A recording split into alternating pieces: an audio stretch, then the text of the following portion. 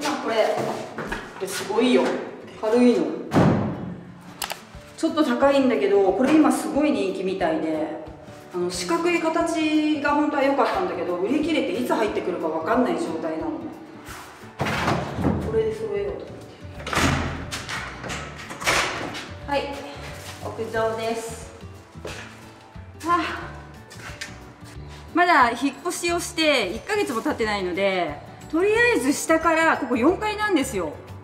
で下からこの蜂たちを運ぶのにちょっとまだ手となんつうの？手間取ってる？感じ。だからまだこんな感じでねこっち側はまだまだ整理されてない。で今からですねこのバラたちをバラたちは全部あの屋上で育てようと思ってて日当たりがすっごいいいから。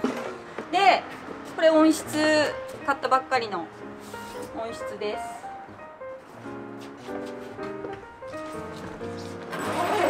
でも温室はもう本当に冬に寒さに弱い植物たち。まだここも まだ全然整理できてないけれどもこういう感じで。これ。なんと思う？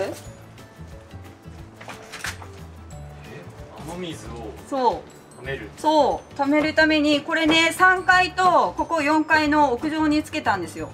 つけてもらって雨水がここに溜まるんですね。でそれをあの植物たちにあげられるようにいつでも。そういうのを置いてます。そうするとねあのお水も節約になるしあの水道水はねあのカルキっていうかなんだっけ。なんだっけ。カルキじゃない。塩酸？塩塩素？塩素が入ってたりするので植物には使わないんですねうちは。雨水か浄水をかけてあげるようにしてます。こんだけ多いとだってお水代もかかるもんね。